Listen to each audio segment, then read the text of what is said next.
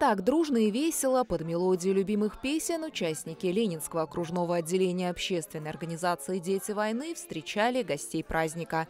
Объединение было создано ровно 10 лет назад. И эту дату председатель Владимир Безбожный считает символической. 12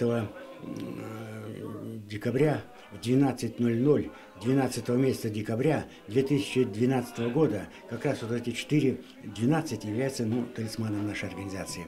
На протяжении всего этого времени «Дети войны» регулярно участвовали во многих мероприятиях Ленинского городского округа, Москвы и области.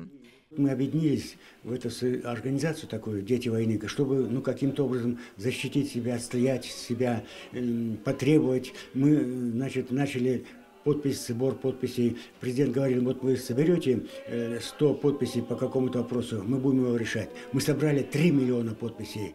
Одна из целей организации – сохранить память о вкладе русского народа в победу над фашизмом и передать эту историю подрастающему поколению.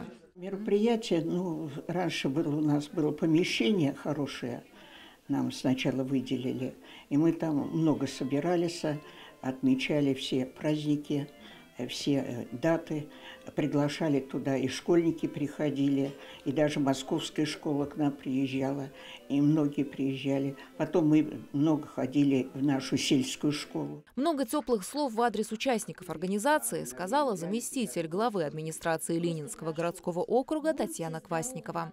Это дети героев, победителей Великой Отечественной войны.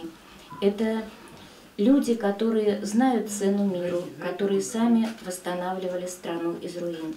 Татьяна Квасникова также вручила подарок для организации и зачитала поздравления от главы муниципалитета. Наталья Буслаева, Александр Логинов, Елена Кошелева, Видное ТВ.